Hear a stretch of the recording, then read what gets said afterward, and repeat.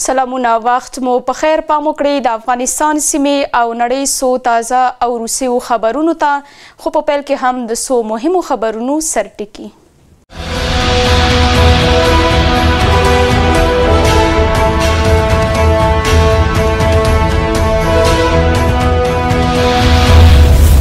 کابل کې د پاسپورټونو د ورکړې دریونو څانګو پرانیسته مسؤلین وايي، په دغو څانګو کې د نارینه او ښځینهو لپاره ټولې اسانتیاوې برابرې شوي.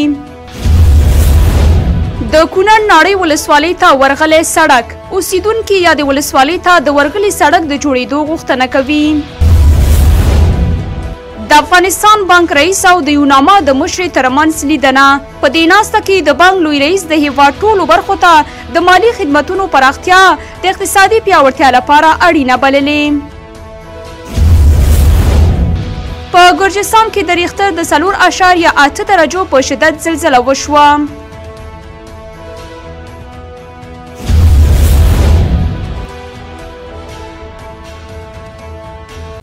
او دا هم پوره خبرونه ویاندا سول افغان شهید د پاسپورټ لوی رئیس په کابل کې د پاسپورټ دریو نویو کاري څانګو پرانیزغونډه کې ویلي چې په دغو څانګو کې د نارینه او ښځینه لپاره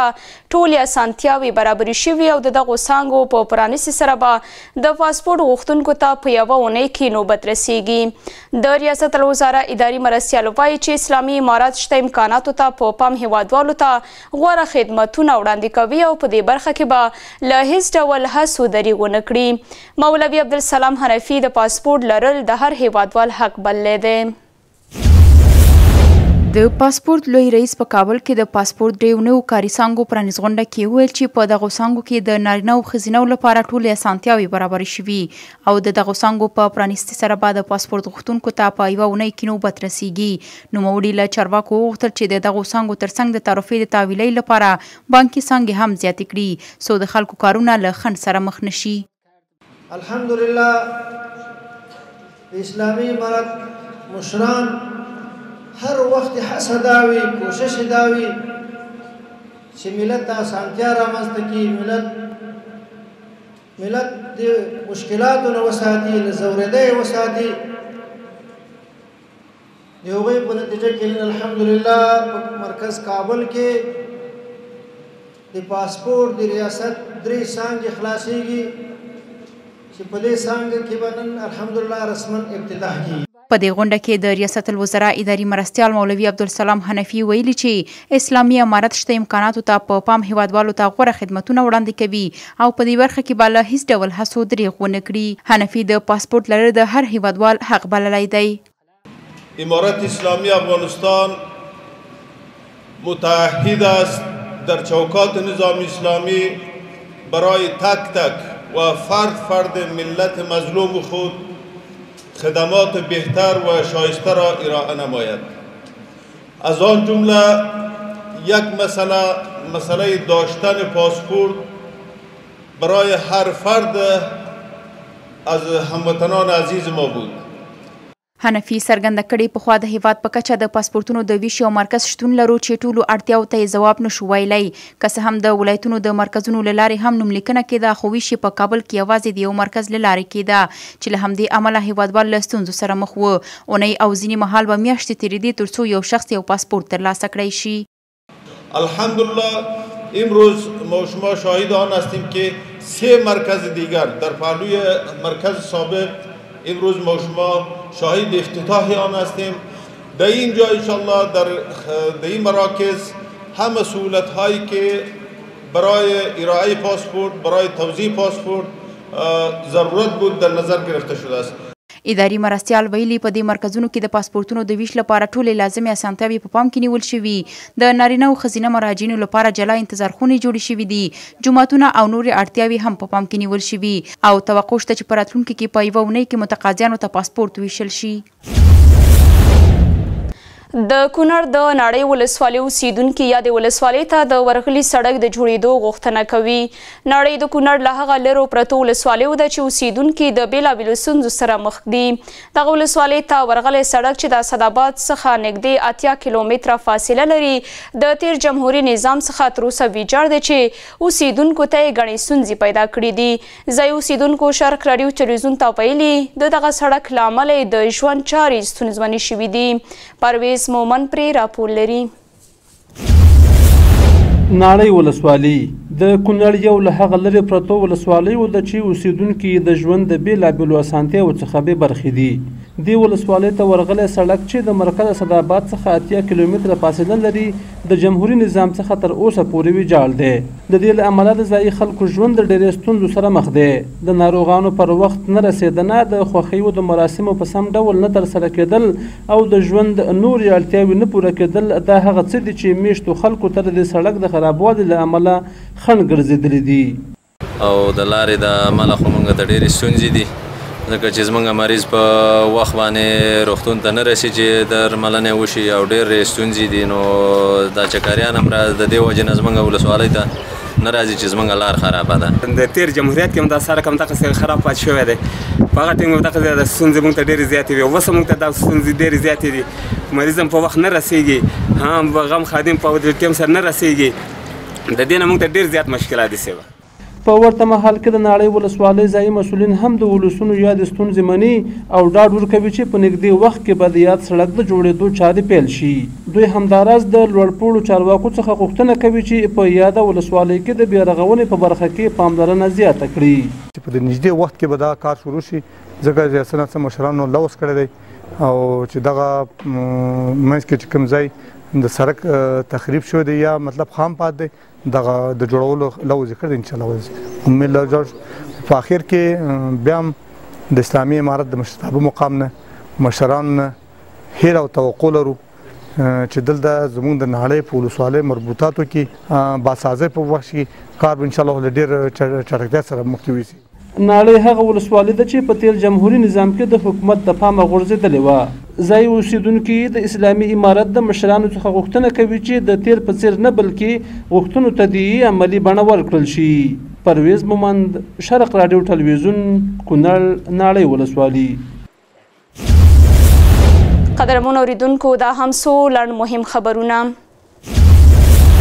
د افغانستان بانک لوی رئیس نور احمد آغا د ملګرو ملتونو د سرمنشي له ځانګړي استازي او د یوناما له مشرې روزا اوتمبایوا سره لیدلي په دې ناسته کې د افغانستان بانک لوی رئیس نور احمد آغا د هیواد ټولو برخو ته د مالي خدمتونو پراختیا د اقتصادي پیاوړتیا لپاره اړینه بللې او ویلي دي دغه بانک ژمن دی چې د هیواد ټولو برخو ته مالي خدمتونه وغځوي.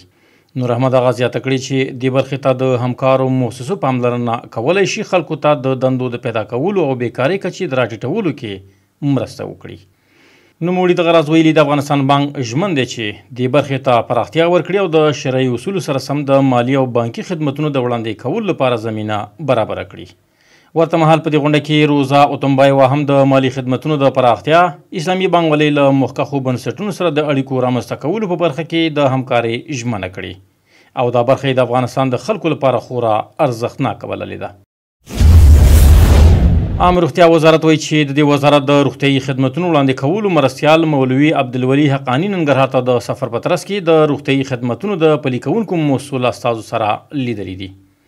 د دې وزارت په وینا مولوي عبدالولي حقاني دې لیدنه کې د یادو مسول استازو غوښتي چې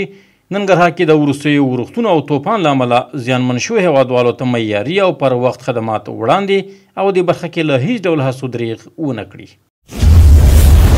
د اوبو او انرژۍ وزیر ملا عبداللطیف منصور د اوفي بهرام شرکت له استازي سره په لیدنه کې ویلي چې په فراه، پکتیکا او روزګان ولایتونو کې به ډیر ژر د لمریزې برېښنا د دریو پروژو چارې پیل شي. ملا عبداللطیف منصور دې لیدنه کې ټینګار کړی چې ډیر ژر دې د یادو پروژو قراردادونه له نوموړي شرکت سره لاسلیک شي. د یاد شرکت استازي دغه راز دې لیدنه کې کابل کې تر سل میګاواټه لمریزې برېښنا د تولید پر یوه بله پروژه هم د پانګونې ژمنه کړې ده. د کډوالو بیرته راستنیدونکو چارو وزارت وایي چې تیر دوه ورځو کې یو زر او څلور سوه او اته تن افغان کډوال له ایران او پاکستان څخه هیواد ته راستانه شوي دي د یاد وزارت په وینا راستنو شوو هیوادوالو سره د اسلامي امارت د پالیسۍ په اساس نغدي مرستې شوي او د لا زیاتو مرستو ترلاسه کولو په موخه د ملګرو ملتونو عالي کمشنرۍ او د کډوالۍ نړیوال سازمان دفترونو ته ور پیژندلې دي. په ننګرهار ولایت کې خلک د سړک پر سر پر خلاصو لوښو کې د خوړو د پلور او پیر په اړه اندېښنه څرګندوي او زیاتوي چې ښاروالۍ باید د دغې چارې د مخنیوي په برخه کې د پام وړ اقدامات ترسره کړي. روغتیا پالان هم د دغه ډول خوړو کارول د روغتیا لپاره مضر او په بېلابېلو ناروغیو د اخته کېدو عمده لامل بولي. د ښاروالۍ مسؤلین بیا وايي، دوی د عامې روغتیا او د یو شمېر نورو ادارو سره په ګډه د دغې چارې د مخنیوي په موخه یوه کمېټه جوړه کړې ده. نور حال زموږ د همکار سباوون ساحل په رپوټ کې. د سړک پر سر خواړه او د خلکو اندېښنې. دلته د ننګرهار مرکزي ښار جلال اباد په بېلابېلو واټونو کې ګڼ شمېر خلک د سړک د غاړې سر خلاصي خواړه خوري چې دغې چارې ښارمېشتي اندېښنه اغېزمن کړي. دوی زیاتوي چې له همدې لارې بېلابېلې مزمنې او ساري ناروغۍ له یوه بل ته انتقالېدای شي. دوی له حکومتي مسؤلینو او په ځانګړې ډول له ښاروالۍ غواړي چې مخه یې ونیسي. لاس خواړو په اړه باندې مخنیوی وشي چې تر څو ګران هېوادوال په مختلفو ناروغۍ باندې اخته نه شي. سرک نه ګردونه غورځي. او ځوانانو ته او داسې نور مشرانو ته مریضیان هم دې نه پیدا کېږي دغو نه سل رقمه مریضان مریضیا پیدا کېږي نو دغه لپاره دولت نه موږ دا جدي غوښتنه ده چې دې باره کې تصمیم قاطع ونیسي په همدې حال کې بیا په دغه ولایت کې روغتیاپالان د دغه ډول خوړو کارول له زیانونو خوندي نه بولي او زیاتوي چې په کارولو سره یې خلک په بېلابېلو ساري ناروغیو اخته کېدلی شي. لاس ناروغي چې ډېری کامن دی او دلته همدا خوار او غریب ملت ورسره لاس او ګریوان ده نو دا د اماغو څنګه کیږي سبب کیږي چې هغه کې دغه موریکا شو او زیړی شو تور هپاټایټس ورته وي تور زیړی او دغه شان چې ایچ بي اس ایچ سی وي موریکا شو نس ناستی شو، غذايي تسمم شو. د دغه ولایت د مرکزي ښاروالۍ مسؤلین هم تر یوه بریده یاده ستونزه مني او د مخنیوي په موخه یې د عامې روغتیا او یو شمېر نورو ادارو سره په ګډه د هلو ځلو خبره کوي. د پلو لارو سرکونو په سر باندې چې هغه سرخلاصي خواړه چې خرڅیږي مختلف ډولونه لري چې د حفظ سه برخه تقریبا تر ډیره پورې چې په دې کې د ستامې ریاست او ځینې نور ریاستونه هم موږ سره داخل دي موږ دوی ته بار بار په دغه برخه کې دوی سره خبرې کړې دي ځینې برخو کې دغه چاره عملي شوې ده هغه چې هغه ساحې چې لا پاتې دي هغه ته مو خور کړې ترڅو دوی هغه د خپل حفظ سه برخه مراعات دا لومړی ځل نه دی چې خلک د سړک د غاړې سرخلاصو خوړو پېر او پلور اندېښمن کړي، بلکې تر دې وړاندې یې هم ورته غږ پورته کړی او له مسؤلینو یې د حل لارې د راویستلو غوښتنه کړې ده، خو تر اوسه یې مسؤل چارواکي په مخنیوي نه دي توانېدلي. دا چې دا ځل به یې مسؤلین مخه ونیسي او که نه، دا هغه پوښتنه ده چې وخت به یې ځواب کړي. او دا هم څو مهم بهرني خبرونه.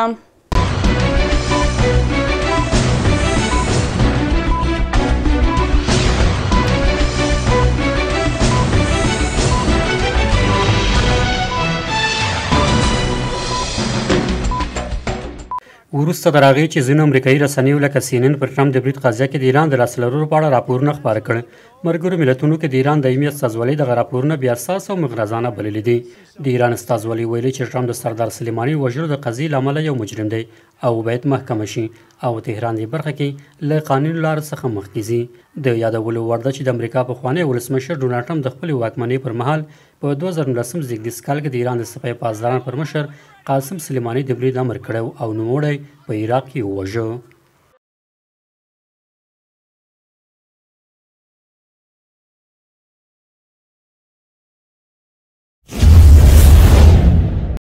په ګرجستان کې د ریختر د څلور اشاریه اته درجو په شدت زلزله وشوه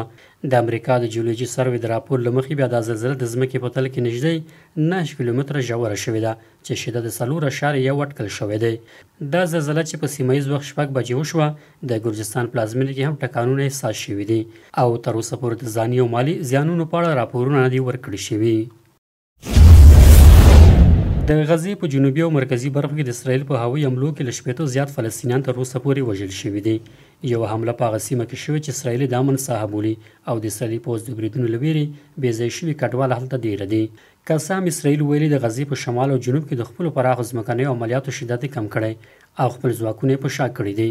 اسراییل په امن سیمه چې د مدیترانې سمندرګي په اوږدو کې شاوخوا شپېته کیلومتره مربع ساحه رانغاړي او اسراییلو بې ځای شوو فلسطیني کډوالو ته هلته د اوسېدو لارښوونه کړې، تقریباً هره ورځ هلته په کې هوایي بریدونه ترسره کېږي. او په وروستیو کې دا هم څو مهم ورزشي خبرونه.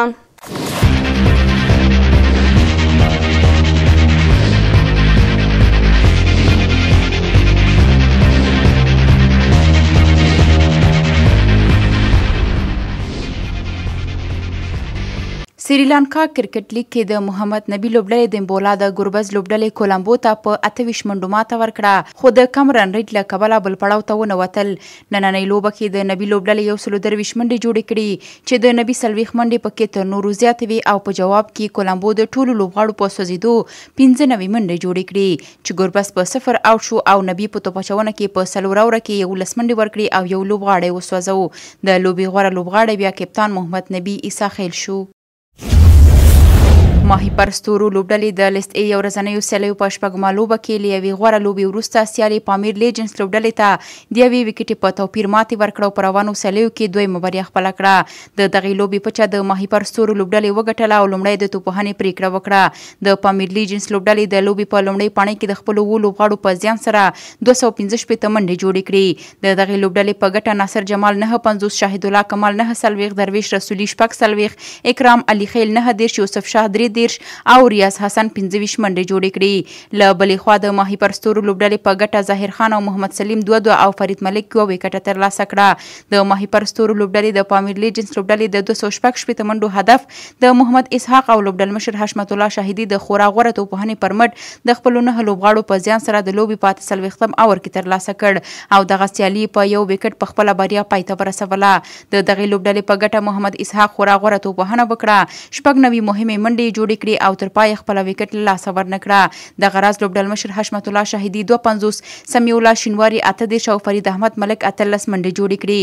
او د خپلې لوبډلې په ګټه یې مهمه ونډه ترسره کړه. له بلې خوا د پامیر لیجنس لوبډلې په ګټه عبدالرحمن رحماني، بابر خان او نوید ځدران هر یو دوه، نصیر خان، معروف خیل او ناصر جمال یوه یوه ویکټه ترلاسه کړه، خو لوبډله یې له ماتې ونه ژغورله او په روانو سیالیو کې درېیمه پرله پسې ماتې په خپل نوم کړه. د ماهیپر ستوري لوبډلې تکړه توپوهونکی محمد اسحاق پرون د پامیر لیجنس لوبډلې پر وړاندې خورا ښه توپوهنه وکړه، نوموړي په شپږ اتیا توپونو د شپږ څلوریزو او پنځه شپږیزو پر مټ شپږ نوي منډې جوړې کړې او د لوبې غوره لوبغاړی ونومول شو. خوږو اورېدونکو دا وه د دې ساعت نیم ساعته خبري ټولګه تر بیا ښې چاري لوی الله مو مل.